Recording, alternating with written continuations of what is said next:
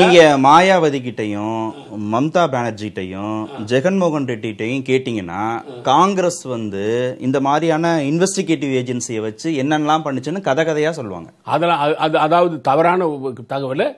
என்னை பொறுத்த வரைக்கும் நான் சிபிஐயில் அவங்களுக்கு யாருக்குமே எந்த விதமான விதிமுறையை மீறி நாங்கள் செய்யலை. ஆளுங்கட்சி மாநிலத்தில் பா- பாரதிய ஜனதா கட்சி ஆளு மாநிலத்தில் இந்த என்ஃபோர்ஸ்மெண்ட் டைரக்டரேட் போயிடுமா? சிபிஐ போகுமா?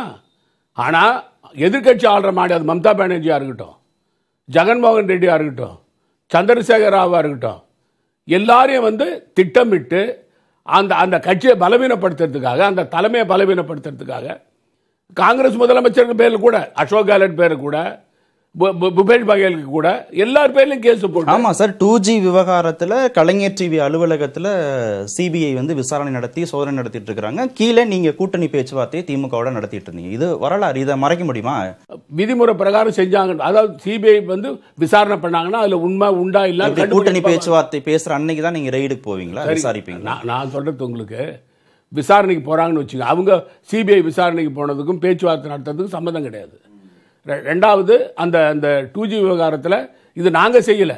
நீதிமன்ற உத்தரவு. இல்லை ஆளுநர்களை வைத்து எதிர்க்கட்சி ஆளக்கூடிய மாநிலங்களில் மத்திய அரசாங்கம் வந்து அதிகாரம் செலுத்துகிறாங்கங்கிற குற்றச்சாட்டும். என்ஃபோர்ஸ்மெண்ட் டைரக்டரேட்டு சிபிஐ மாதிரியான இன்வெஸ்டிகேட்டிவ் ஏஜென்சியை வந்து பயன்படுத்தி எதிர்க்கட்சி தலைவர்களை எதிர்க்கட்சிகளை முடக்கிறாங்கங்கிற குற்றச்சாட்டும். காங்கிரஸ் மேல கடந்த காலங்கள்ல வைக்கப்பட்டிருக்கு. காங்கிரஸ் அதை செஞ்சிருக்கு. சார் ஆதாரம் சொல்ல அதான் நான் சொல்றேன். மாயாவதி கிட்ட மம்தா பானர்ஜி கிட்ட ஜெகன்மோகன் ரெட்டி கிட்ட இந்த தலைவர்கள்ட்ட எல்லாம் நீங்க கேட்டீங்கன்னா கதை கதையா சொல்லுவாங்க. ஜெகன்மோகன் ரெட்டி காங்கிரஸ் ஆட்சி காலத்தில் அவர் வந்து பதவியிலே இல்லை.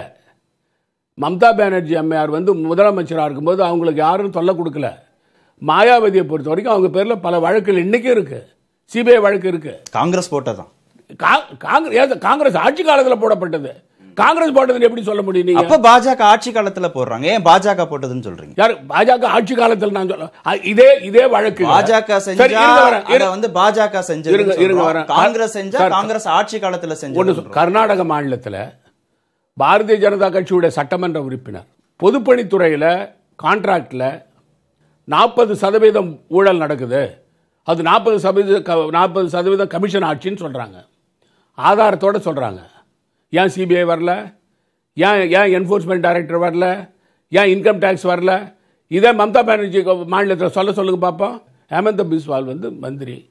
இன்றைக்கி சீஃப் மினிஸ்டர் காங்கிரஸில் மந்திரியாக இருந்தார். அவர் பேரில் சிபிஐ வழக்கு போட்டாங்க.